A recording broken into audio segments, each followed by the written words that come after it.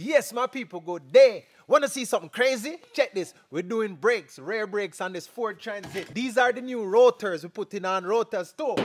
Yo, check this out. I bet you didn't know. Some of you might know, but I bet you didn't know. To do the rotors, we already removed caliper hardware and all of that. We should be able to get the rotor negative.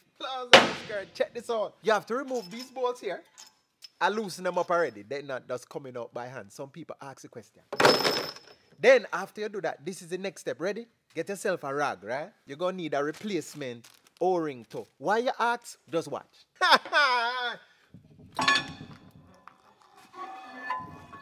yeah, yeah, yeah. We have to disturb the axle and differential oil and all that to just to do brake rotor.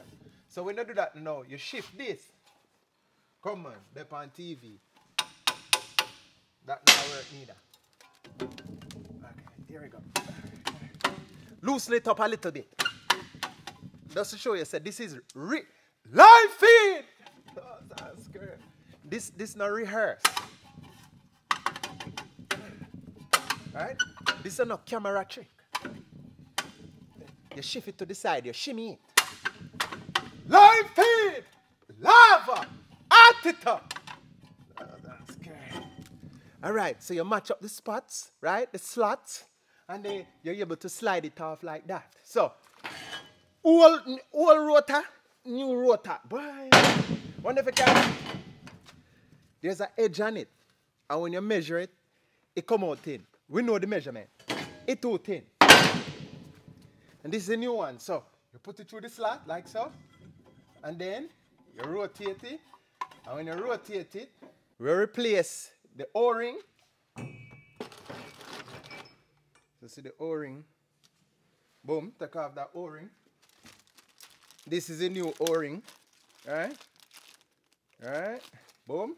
If I can't get it, I replace it. -huh. Throw the old one put in a new one. That's it. There is a land far, far away. It's called Addis Ababa. Put on a little lube on the new O-ring. All right, get your rag back together. All right, all right.